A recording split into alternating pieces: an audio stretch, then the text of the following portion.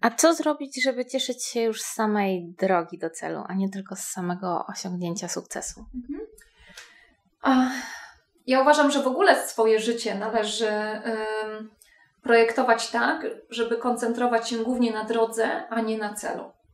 Ponieważ osiąganie celu tak naprawdę trwa, bo ja wiem, 5 minut, 10 minut. Ta radość, kiedy po prostu cel jest osiągnięty. E, w związku z czym żeby nie koncentrować się tylko i wyłącznie na tym właśnie, co się wydarzy, kiedy tam dojdziemy, tylko bardziej skoncentrować się na tym, na tej drodze, jaka ona ma być, w ogóle po drodze.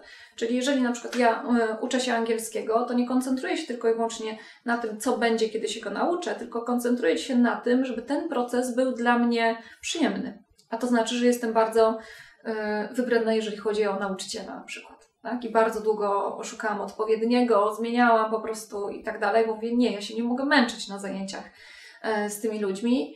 Ja muszę tam znaleźć coś, co, jest, co będzie dla mnie inspirujące, pasjonujące mm, i ciekawe. W związku z czym ja się cieszę z samego tego, co robię. Jeżeli uprawiam sport, to również długo szukałam e, takiego rodzaju sportu i takiej aktywności, która będzie dla mnie przyjemna, żeby nie tylko i wyłącznie cieszyć się z tego, że nie wiem, po dwójce dzieci wróciłam do stanu, że tak powiem, sprzed dwóch ciąży, e, ale również z tego, żeby się po prostu cieszyć z tych zajęć, na które chodzę. Oczywiście regularnie się nagradzam tym, że jeżeli przejdę przez jakiś określony proces treningowy, to kupuję sobie nowe buty sportowe, bo wiem, że tam mnie to zadziała, prawda?